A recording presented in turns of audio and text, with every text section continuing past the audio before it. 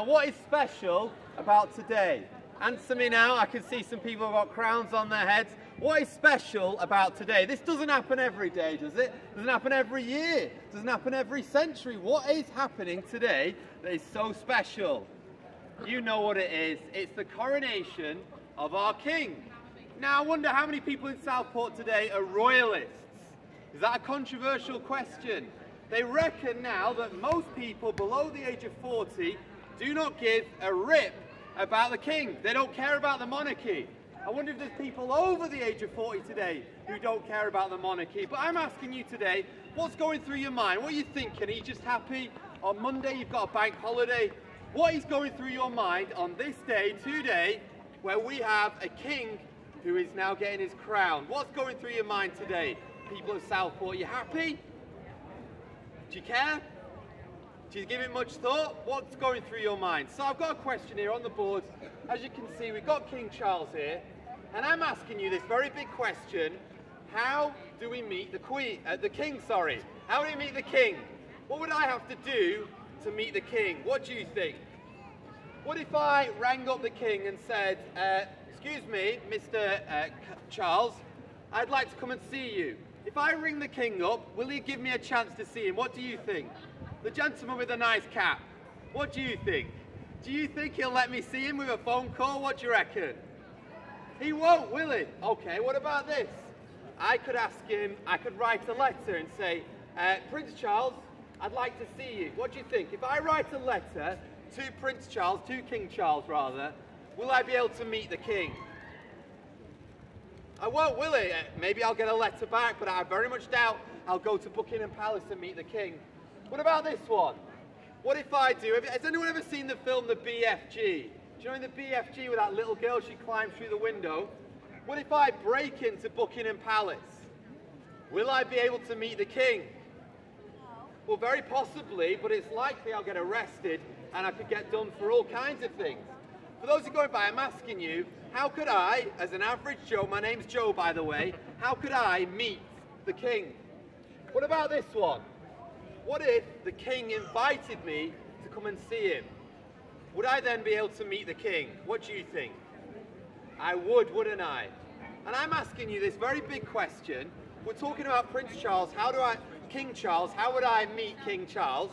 And he would have to come and invite me. But did you know there's a greater king than King Charles? As I've been giving out leaflets about King Charles today, people have said, I don't want to think about him. Some people have said quite bad things about King Charles. Oh, hey, you're the one who I heard say that before, right? Okay, my friend. But what about Jesus? What do you think about Jesus, sir? He's the saviour, this man's right. Okay, uh, we can agree on that. He's the saviour. So I'm telling you, King Charles people have got different opinions. Again, there was a poll that was done. Many people below the age of 40 say they don't care at all about the monarchy.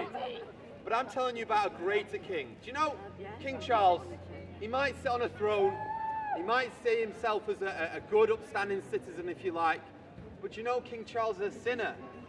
I wonder, I wonder if we could see everything that King Charles has ever seen in his life and we put it on this board, do you think King Charles would be embarrassed? Let me flip the question back on you if you think you're giving him, it, are you putting him in the hot seat? What if we could see everything you've seen in your life? We put it on this board. For everything I've seen in my life. King Charles is actually a sinner. Uh, King Charles today, he'll wear a crown, won't he? He'll have a big, lovely gold crown on his head. Do you know the king I'm going to tell you about, Jesus Christ? He also wore a crown. It wasn't a glamorous crown, it was a crown of thorns that hurt him, that pierced his skull. Again, I said King Charles, some people might have different opinions. King Charles is a sinner, but Jesus was sinless, this king. Now here's something really interesting. This is gonna this is gonna tap into your brain a bit. You ready for this? King Charles will one day die and he'll lose the throne. He'll be dethroned by death. You know, Jesus died. On the third day, he died, but on the third day, he rose from the dead. Death did not dethrone him. Death could not keep him down. This king can, is risen and he forever reigns. And I'm asking you today, are you thinking about this king? Are you thinking about Jesus? We might think about King Charles, but are you excited that there is a king who sits in heaven right now and rules and he wants a friendship with you? King Charles, again, I'm not saying anything offensive, I don't hope this doesn't upset anyone, but I doubt King Charles is overly interested in meeting you. And yet, this king, Jesus Christ, he's desperate to meet you. Just look at the cross. Look at the great lengths he went to on that cross. Pinned there, bleeding, dying there, because he wants a friendship, a relationship with you, and he wants to offer you forgiveness of sins. I've messed up in life. I've told lies. I'm a sinner. I'm not a good person. But Jesus cares about me enough to die on that cross. And he cared about you also. Eh, if there's anyone who's got any questions or you want to talk about it, please come and chat to us. If you'd like a portion of the Bible to learn more about this man Jesus, just come and take it. It's absolutely free. God bless you and thank you for your time.